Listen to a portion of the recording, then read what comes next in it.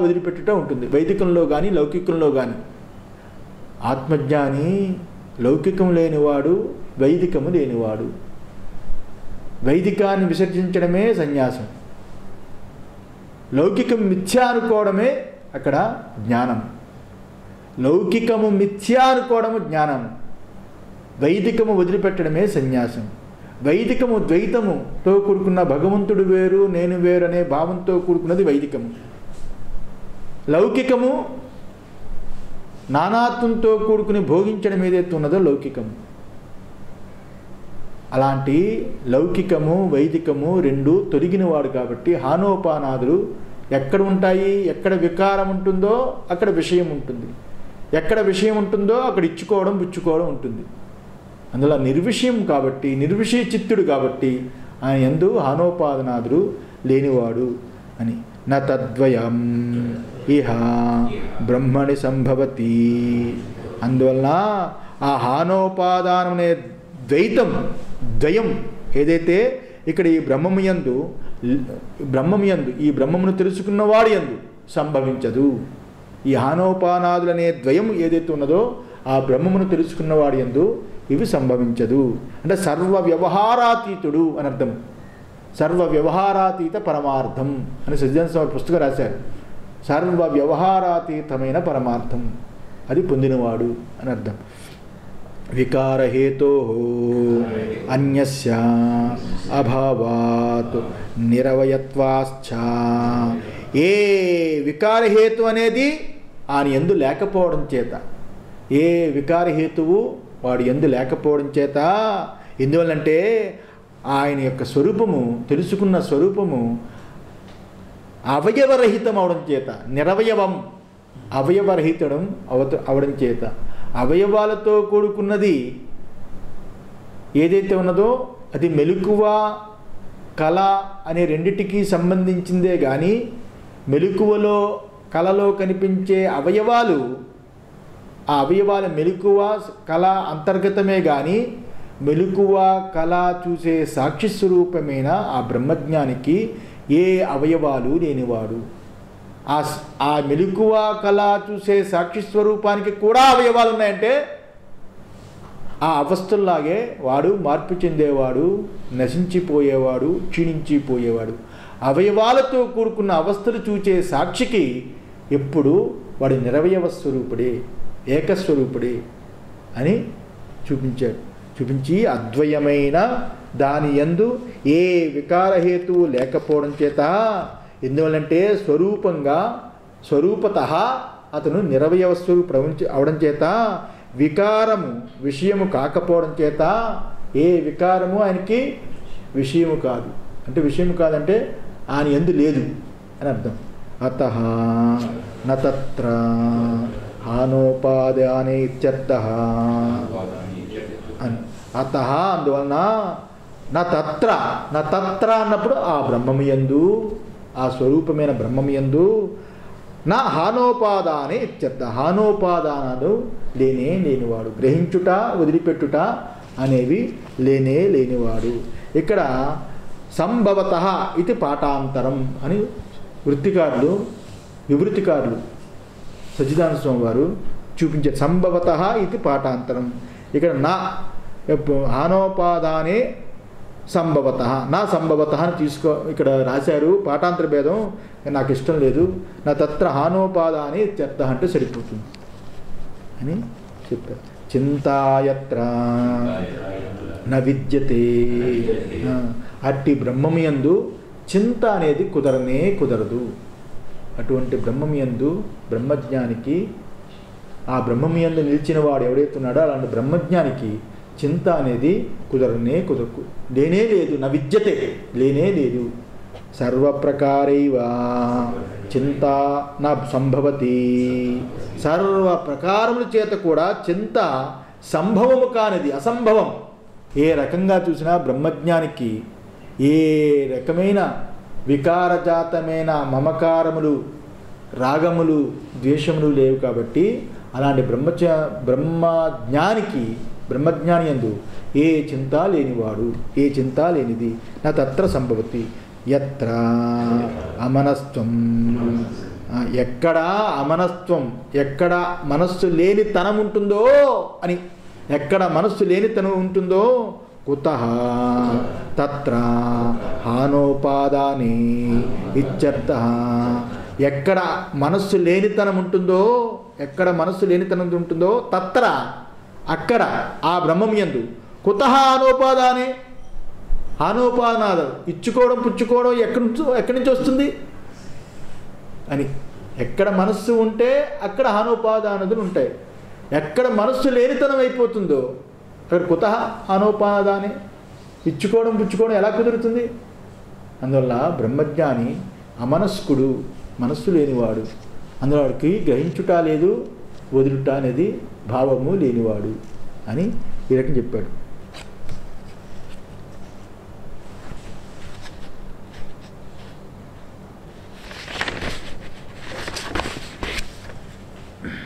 బ్రహ్మము యందు మనస్సు అమనస్సు పొంది ఉంటుంది. అందుకే బ్రహ్మవిధుని ఎందు హానోపానాదులనేవి సంభవించవు. హానోపానాదులని సంభవించు. సర్వవిధ చింతాభావమును హేతు ఏమిటి అంటే ఇక్కడ చెప్పాడు. ఏమిటి? ఆత్మ సంస్థం అని చెప్పబోతున్నాడు. సర్వవిధ చింత అభావానికి అన్ని చింతలు పోవడానికి. చింత అంటే ఆ బుద్ధే పోయిందానికి అమనస్త్వం అయిపోయింది. అలాంటి పోవడానికి కారణం ఏమిటి? అంటే ఏమిటి కారణం? ఎందుకు అలా పోయింది? అంటే ఆత్మ సంస్థం అని కారికాకారులు చూపించారు కదా దాన్ని ఇప్పుడు అర్థం చెప్తున్నాడు. ఎ- యదైవ ఆత్మసత్యానుబోధ జాత తదైవ ఆత్మసంస్థం విషయాభావా. సత్యజానస వారి కాదు శంకరాచార్యులు కూడా ఆత్మసత్యానుబోధ వదలటం లేదు. అదే వివేక వివేకమే సమాధికి లక్షణము కానీ అసంప్రజ్ఞాత సమాధి నిర్వికల్ప సమాధి లక్షణము కాదు అనేది గుర్తుంచుకోవాలి.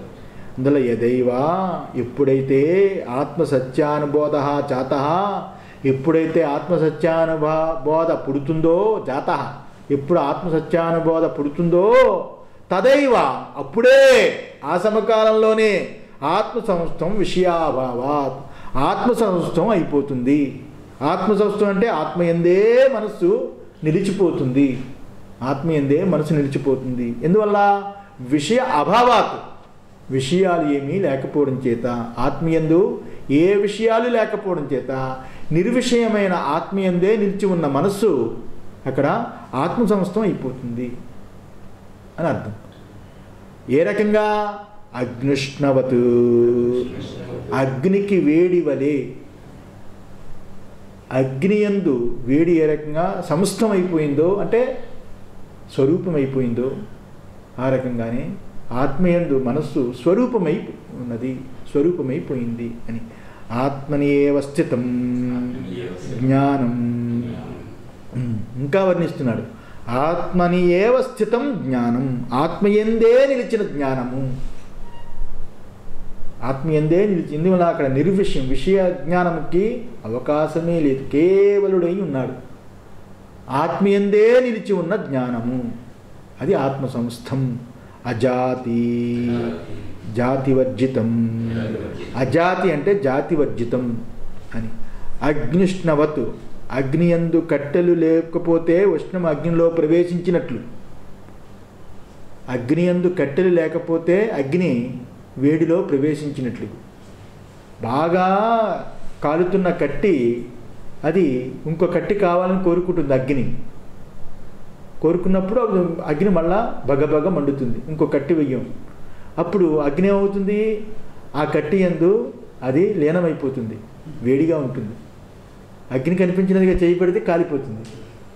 ఆ అగ్ని బగబగ మండుతున్న జ్వాల ఏ రకంగా ఆ వేడిలో లీనమైపోతుందో ఆ రకంగా ఆ బగబగ మండుతున్న మనస్సు ఆత్మయందు లీనమైనట్లుగా అని అర్థం. లీనమైనట్లుగా అని. అననైనా చెప్పచ్చు. లేదా అగ్నికి వేడి ఎలా స్వరూపమో అలాగే ఆత్మకు జ్ఞానము ఆ రకంగా స్వరూపము అని అర్థం. ఇందులో ఆత్మనియేవ స్థితం జ్ఞానం. ఆత్మీయ నిలవడమే ఇక్కడ జ్ఞానం అని. ఇక్కడ ఏ ఇక్కడ ఆత్మనియేవ స్థితం జ్ఞానం అని అన్నాడు కదా. తన స్వరూపంగా నిలిచిన జ్ఞానము అర్థం. ఆత్మని ఏవా ఆత్మని ఏవంటే స్వరూపము. స్వరూపంగా మిగిలిపోవడమే ఇక్కడ జ్ఞానం.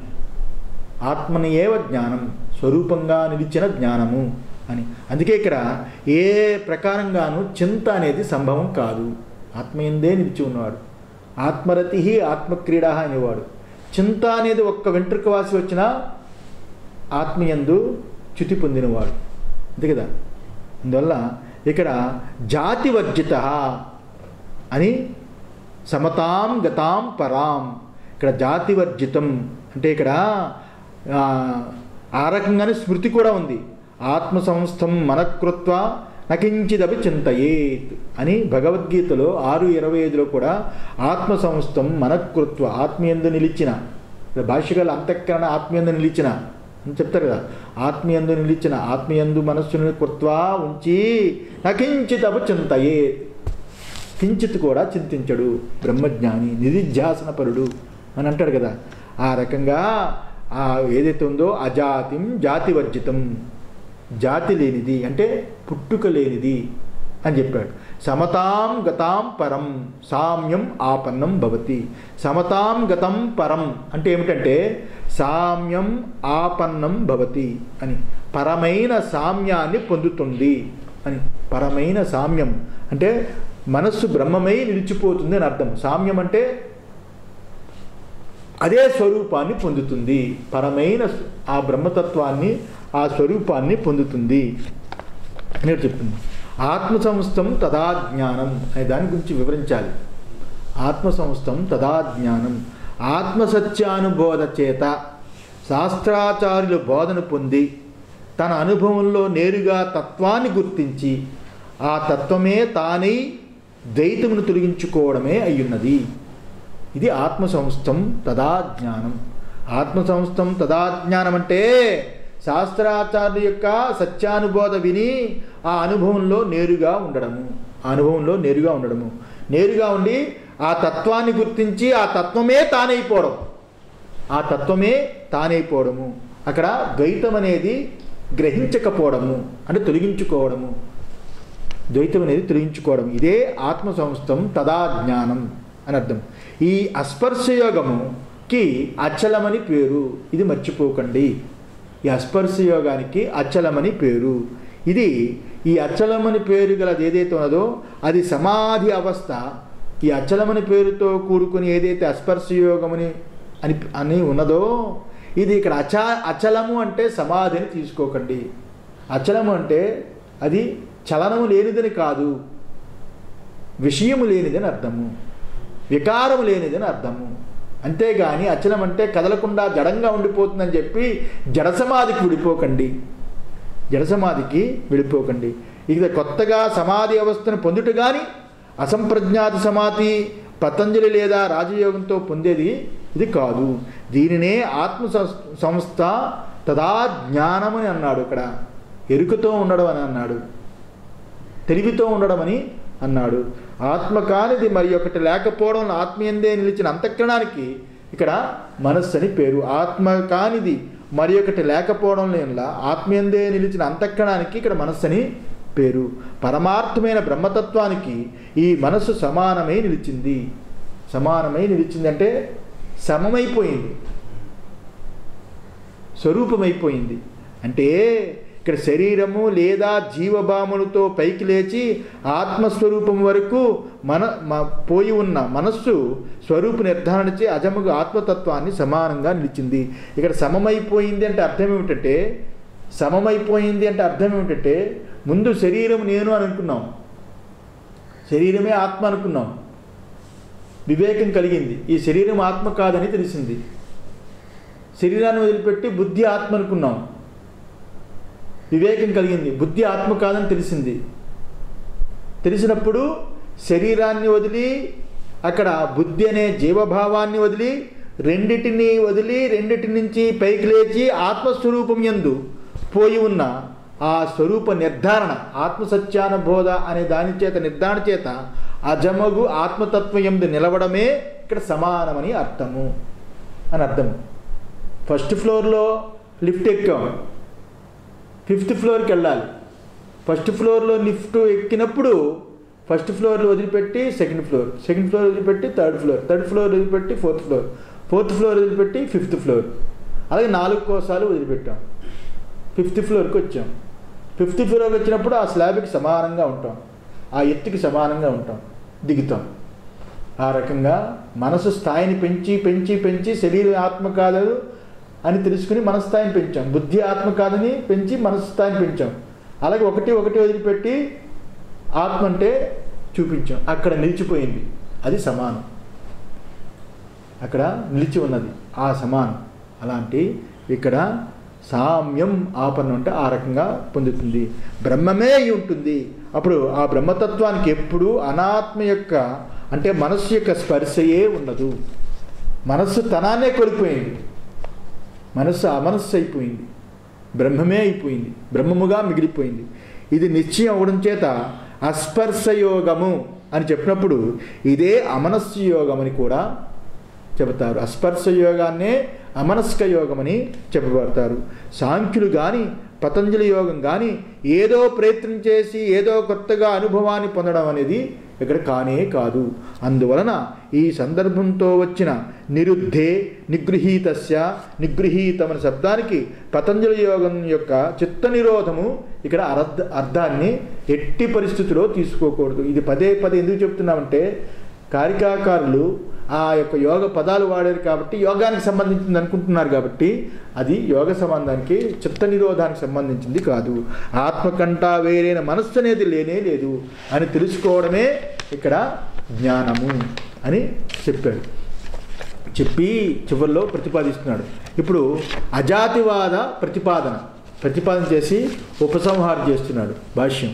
అజాతివాద అజాతి ప్రతిపాదన ఉపసంహారము అనేది ఇక్కడ ఎడ్డింగు అజాతి ప్రతిపాదన ఉపసంహారం యత్ ఆ- అదౌ ఆదౌ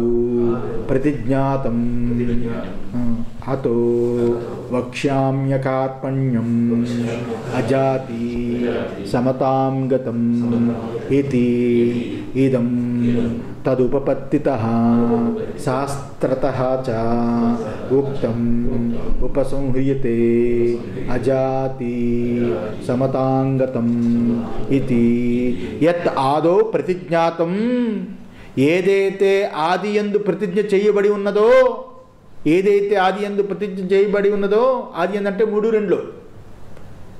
ఈ ఆ- అద్వైత ప్రకరణానికి ఆది. అంతేగాని ఆది అంటే మాండిక్యానికి ఆది కాదు.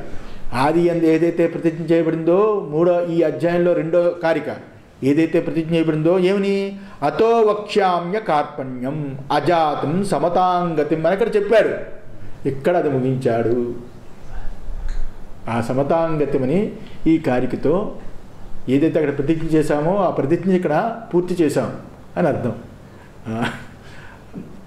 అత అందువలన వక్ష్యామి అకార్పణ్యం.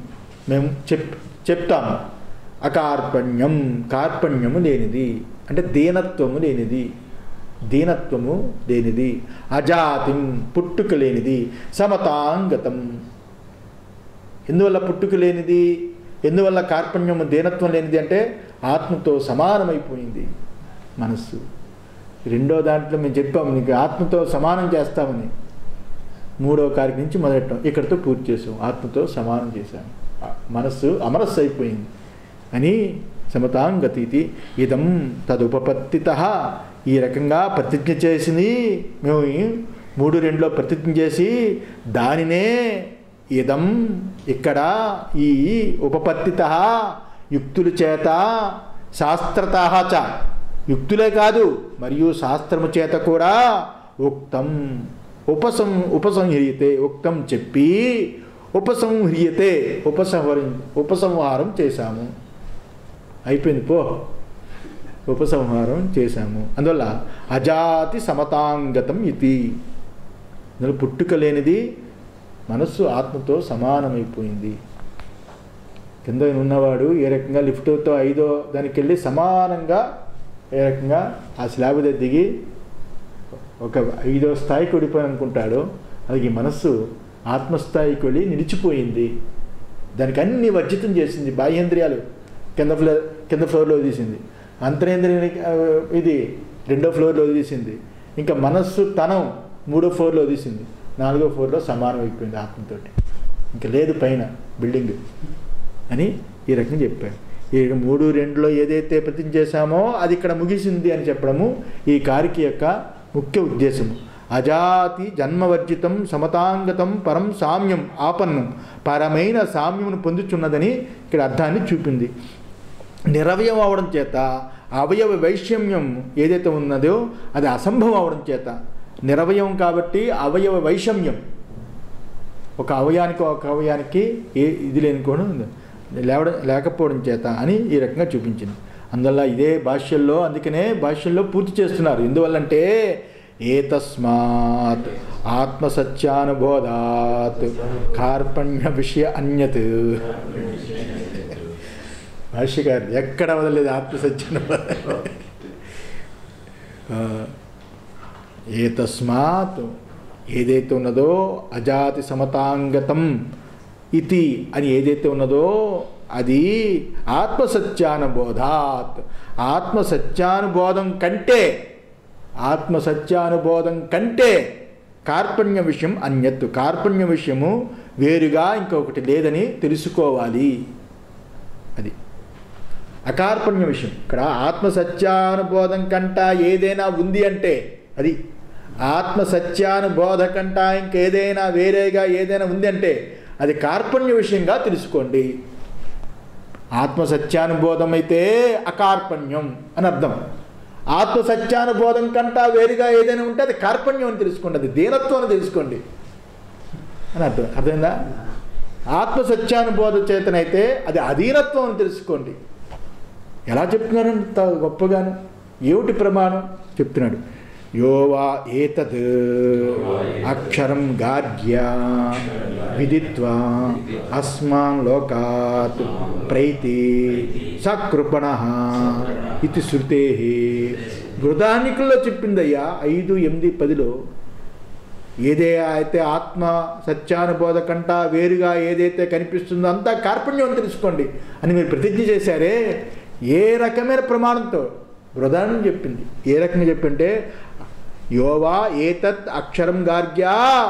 ఓ గార్గి ఓ గయర్గి ఎవడైతే ఆ బ్రహ్మమును ఆ అక్షర బ్రహ్మమును ఎవడైతే అవిదిత్వ తెలుసుకోకుండా ఉంటాడో గార్గి అవి అవిదిత్వ గార్గ్యావిదిత్వ.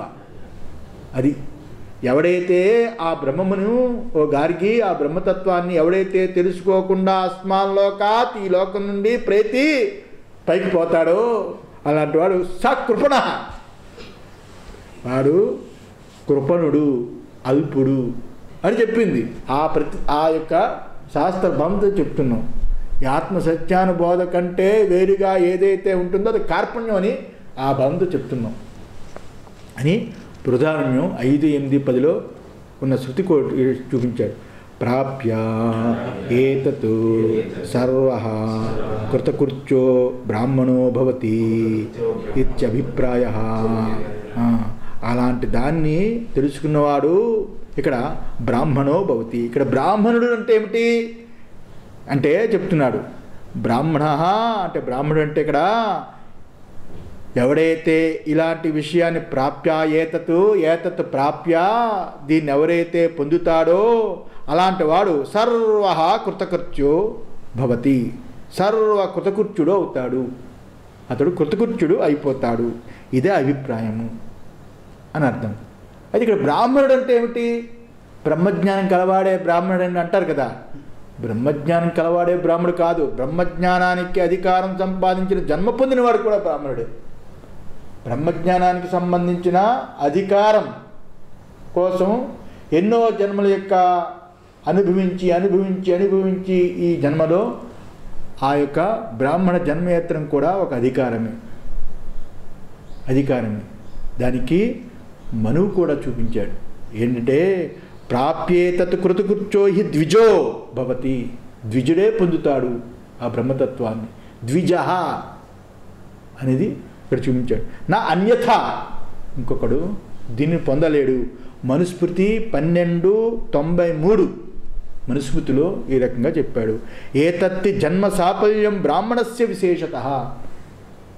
బ్రాహ్మణుడుగా పుట్టి ఈ బ్రహ్మజ్ఞానం ఎవడైతే తెలుసుకుంటాడో అలాంటి వాడికి బ్రహ్మ ఆ యొక్క జన్మ సాఫల్యం అని ఈ రకంగా చూపించాడు మనువు అని అర్థం.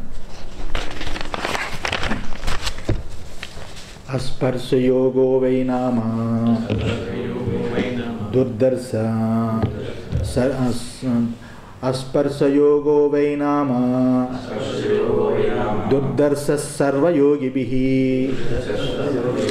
యోగినో బిభ్యతి హే స్మాత్ అభయే భయదర్శిన అస్పర్శయోగో వై నామా దుర్దర్శ సర్వయోగిభి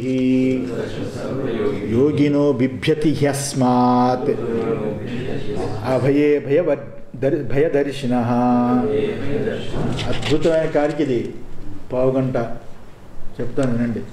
అస్పర్శ యోగో వై నామ దుర్దర్శ సర్వయోగిభి. ఈ అస్పర్శ యోగం ఏదైతే ఉందో ఈ అస్పర్శ యోగము అందరి యోగులకి దుర్దర్శ కష్టమైనది. అందరి యోగులకి కష్టసాధ్యమైనది ఈ అస్పర్శ యోగం ఎవరైతే విరాగంతో ఉండి సర్వ కర్మలు చేసి చేసి ఆ కర్మల యొక్క పుణ్యఫలం చేత విరాగం కలిగి ఆ విరాగం చేత ఆ మెట్టు దాటి కర్మల యొక్క మెట్టు దాటి ఎవడైతే బ్రహ్మజ్ఞానాన్ని పొందుదామని ఆత్మసత్యానుబోధ చేత గురువుల దగ్గరికి వెడతారో వాళ్ళు పొందేదే తప్ప సామాన్యులైన యోగులకి అసాధ్యము కష్టము అసంభవం. యోగినో బిభ్యతి అస్మాత్. ఎందువల్లంటే యోగులు బిభ్యతి భయపడిపోతూ ఉంటారు. ఈ అస్పర్శ యోగం అంటే అభయం భయదర్శిన. అభయం అంటే వాళ్ళు వీరి భయాన్ని పొందుతారు. ఈ అభయమైన అస్పర్శ యోగం అంటే వాళ్ళు భయాన్ని పొందుతారు. బిభ్యతి పొందుతారు. అది కారిక. కారిక. యద్యపి ఇదమిత్థం పరమార్థతత్వం. అది మేము ముప్పై ఎనిమిదవ కారిక వరకు అజం అనిద్రం అస్వప్నం అనామకం అకార్యకం ఆ అనామకం అరూపకం అని మొదలుపెట్టి ముప్పై ఎనిమిదవ కారిక వరకు ఏదైతే చెప్పామో అదంతా కూడా ఈ విధంగా పరమార్థతత్వం అయి ఉన్నప్పటికీ ఇదమిత్తం పరమార్థతత్వం ఆ విధంగా ఈ పరమార్థతత్వం ఆ రకంగా ఉన్నప్పటికీ అని అర్థం. ఆ పరమార్థతత్వం ఈ రకంగా ఉన్నప్పటికీ అచలమని అభయమని సమాధి అని ఏదైతే దాన్ని చెప్పాము ఆ రకంగా ఉన్నప్పటికీ అస్పర్శయోగ నామా. అయం సర్వసంబంధ్యాఖ్య. సర్ స్పర్శవర్జతత్వాత్. అస్పర్శయోగ నామ వై స్మర్యతే. ప్రసిద్ధ ఉపనిషత్సు. ఈ విధంగా మేము ఏదైతే ఇంతవరకు నాలుగు కారికల్లో ఏదైతే పరమార్థతత్వం చెప్పినప్పటికీ అజమని అభయమని అభయమని సమాధి అయినే ఈ పరమార్థత్వం చెప్పినప్పటికీ ఈ అస్పర్శయోగో నామ అస్పర్శయోగ నామ. ఇక్కడ అస్పర్శయోగము అని పేరుతో ఏదైతే చెప్పామో ఈ అస్- ఈ దీనికి అస్పర్శయోగం అని పేరు. అది కారికాకారుల పేరు పెట్టారు. అస్పర్శయోగం అని దీనికి పేరు. అంతే కదా ఏ స్పర్శ లేనిది సర్వము వర్జితమైనది. మనసు కూడా స్పర్శించడానికి లేదు. అగ్నిని కట్టి పరిశుద్ధ స్పర్శిద్దామంటే ఏమవుతుంది? అగ్ని రూపాన్ని పొందుతుంది. అగ్ని రూపాహ అని పాట పాడుకోవడం అక్కడ ఆ రూపాన్ని పొందుతుంది. కట్టితనాన్ని కోల్పోతుంది. అగ్ని స్వరూపాన్ని పొందుతుంది. ఆ రకంగానే మనస్సు యొక్క తనాన్ని కోల్పోయింది. ఆత్మ స్వరూపాన్ని పొందింది. అది ఇక్కడ స్పర్శ యోగము అని పేరుతో వచ్చింది. ఏ రకంగా అంటే అయం సర్వసంబంధాఖ్య స్పర్శవర్జితత్వాత్. సర్వ సంబంధమునైన పేర్లు స్పర్శలు అన్నిటినీ వదిలిపెట్టడం చేత అనామకం అరూపకం అని చెప్పారు కదా. అన్ని సంబంధాలతో కూడుకున్న పేర్లు వదిలిపెట్టాడు. పప్పి మమ్మీ నాన్న అప్ప ఏ పేర్లు అయితే ఉన్నాయో అన్న అనే పే సమస్త పేర్లు నిషేధించుకుంది. అలాగే స్పర్శలు తొలగించుకుంది. స్పర్శ అంటే ఇంద్రియ స్పర్శలు. కంటితో రూపం చెవితో వినికిడి అన్ని స్పర్శలు వర్జితం అని. అన్ని పేర్లు స్పర్శలు అన్నీ కూడా వర్జించడం వల్లేనా? దీనికి అస్పర్శ యోగం అని పేరు పెట్టాం.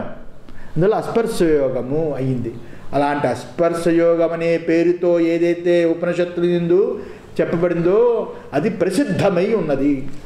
అది ప్రసిద్ధమై ఉన్నది. అదే ఈ కారికలో మేము తెలియచేశాము అని గౌడపాదాచార్య యొక్క ఉద్దేశాన్ని భాష్యకారులు ఈ రకంగా చూపించారు ఈ కారికని.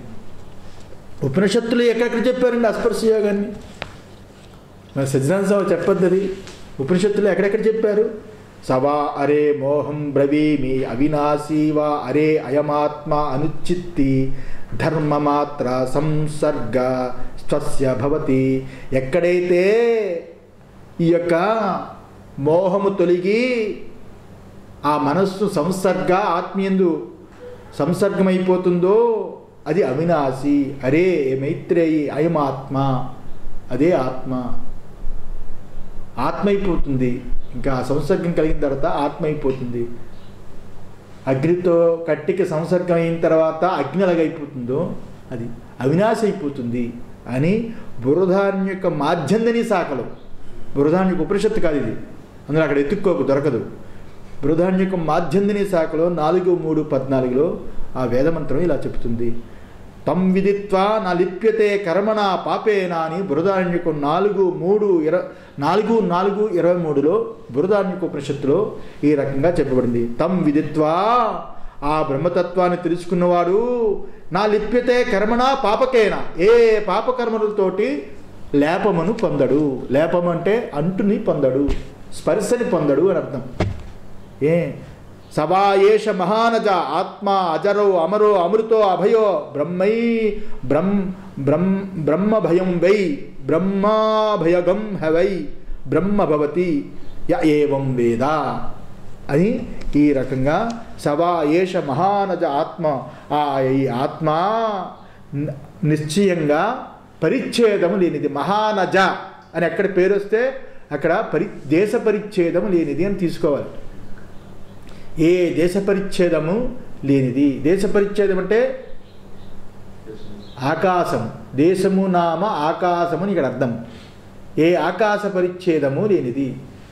ఘటాకాశము మఠాకాశము ఇలాగా ఆకాశానికి ఆ యొక్క ఉపా కొండ ఘట ఉపాధుల యొక్క భేదం చేత ఆకాశానికి ఏ రకంగా భేదం లేదో ఆ రకంగా మహానజ ఏ రకమైన దేశ పరిచ్ఛేదము లేనిది. అలాంటి ఆత్మ అజరం. అంటే పుట్టుక లేనిది అమరం ముసలితనం లేనిది అమృతం మరణం లేనిది అభయం భయము లేనిది బ్రహ్మాభయం వై బ్రహ్మాభయం. అలాంటి బ్రహ్మ అభయస్వరూపమై ఉన్నది. అభయస్వరూపమై ఉన్నది. ఆ అభయస్థానమైన ఆ బ్రహ్మము ఎవడైతే తెలుసుకుంటాడో ఈ విధంగా బ్రహ్మతత్వాన్ని తెలుసుకుంటాడో బ్రహ్మ అభయం హవై ఆ బ్రహ్మతత్వాన్ని ఈ రకంగా ఎవడైతే బ్రహ్మ అభయం అని ఎవడైతే ఈ రకంగా తెలుసుకుంటాడో వాడు బ్రహ్మభవతి బ్రహ్మముగా మిగిలిపోతాడు. బ్రహ్మముగా మిగిలిపోతాడు అని య ఏవం వేద. ఎవడైతే తెలుసుకుంటాడనమాట య ఏవం వేద తెలుసుకుంటాడు వాడు బ్రహ్మముగా మిగిలిపోతాడు అని ఈ రకంగా శృతుల్లో నాలుగు నాలుగు ఇరవై మూడులో బృహదాన్ని శృతిలో చెప్పబడింది. భాష్యం. దుఃఖేన దృశ్యతే ఇది దుర్దర్శ. సర్వై యోగిభి వేదాంత విజ్ఞానరైతై సర్వయోగిభి ఆత్మసత్యానుబోధ ఆయాసలభ్య ఏవ ఇత్యర్థ. ఆయన వదలరు. ఎక్కడ వెళ్తారంటే నలభై దగ్గర నుంచి వెళ్తారు. దృశ్య దుఃఖేన దృశ్యతేతి దుర్దర్శ. సర్వై అని. యోగిభి వేదాంత విజ్ఞానరహితై. ఇది ఇక్కడ ముఖ్యం. ఏమిటి దుఃఖేన దృశ్యతేతి దుర్దర్శ? ఎవరైతే వేదాంత విజ్ఞాన రహితులై ఉంటారో ఎవరైతే వేదాంత విజ్ఞాన రహితులై ఉంటారో వేదాంత విజ్ఞానం తెలియని వాళ్ళు ఎవరైతే ఉంటారో అలాంటి వాళ్ళు దుఃఖేన దృశ్యతేది దుర్దర్శ. దుఃఖము చేత దుఃఖము చేత చూడబడినది ఏదైతే ఉన్నదో అది దుర్దర్శనము. ఎవడైతే వేదాంత విజ్ఞాన రహితులు ఉంటారో అలాంటి సర్వ యోగులు సర్వై యోగిభి అలాంటి వేదాంత విజ్ఞాన రహితులైన సర్వయోగులు ఎవరైతే ఉంటారో అలాంటి వాళ్ళు ఈ ఆత్మతత్వము వాళ్ళకి దుఃఖము. దుఃఖము చేత దుర్దర్శనం వాళ్ళకి. ఆ దర్శనం చాలా కష్టం అని అర్థం. వేదాంత విజ్ఞానరహితులైన యోగులు ఎవరైతే ఉంటారో కమండలాలు పట్టుకొని చూలు శూలాలు పట్టుకొని త్రిదండాలు పట్టుకొని పుండరీకాలు పెట్టుకొని నామాలు పెట్టుకొని ఎవరైతే ఈ రకంగా ఉంటారో ద్వైతవాదులు ద్వైతవాదులైన యోగులు ఎవరైతే ఉంటారో వాళ్ళకి దుర్దర్శనం. చ వాళ్ళకి దర్శనం చాలా కష్టం ఈ ఆత్మదానం ఆత్మ యొక్క స్వరూపము తెలియడము ఈ ఆత్మత్వము దుఃఖము చేత దుర్దర్శనం. అని దానికి ఒక వ్యాఖ్యానం చేశారు. దుర్దర్శనం అంటే దుఃఖేన దృశ్యతేది దుర్దర్శ. దుఃఖం చేత వాళ్ళు దర్శించలేరు కాబట్టి దుర్దర్శనం. అని. అంటే దుఃఖము చేత చూడబడేది. అంటే చాలా కష్టమని. దుఃఖేన దర్శ దృశ్యతే. దుఃఖం చేత చూడబడేది. అబ్బా ఈ బ్రహ్మతత్వం ఆత్మతత్వము మనకి కాదే. దైత్వమే బెటరు. అది నామాలు పెట్టుకుని శూలాలు పట్టుకుని త్రిదండాలు పట్టుకుని పుండరీకాలు పెట్టుకుని ఈ రకంగా ద్వైత భావాలతో ఉన్న వాళ్ళకి దుర్దర్శనం అని. సర్వయోగిభి సర్వయోగిభి ఆత్మసత్యానుబోధ ఆయాసలభ్య. మరి ఎవరికి దర్శనం అవుతుంది? ఎవరైతే యోగులుంటారో అలాంటి వారికి ఆత్మసత్యానుబోధ చేత అది ఆయాస కష్టమే. ఆ, వాళ్ళకి ఆయాసమే ఆత్మసత్యానుబోధ చేత అలాంటి వాళ్ళకి ఏ ఆయాస ఆయాసల ఆయాసలభ్యే ఏవ సర్వయోగి. అలాంటి వాళ్ళకి ఆత్మసత్యానుబోధ కూడా ఆయాస లభ్యమే. ఆత్మసత్యానుబోధ కూడా వాళ్ళకి చాలా కష్టమే. ఆత్మసత్యానుబోధ వాళ్ళకి ఆత్మ స ఆత్మావారే ద్రష్టవ్యో శ్రోతవ్యో మంతవ్య నిధిధ్యాస్తవ్య అని శృతివాక్యాలు చెబితే ఆ శృతివా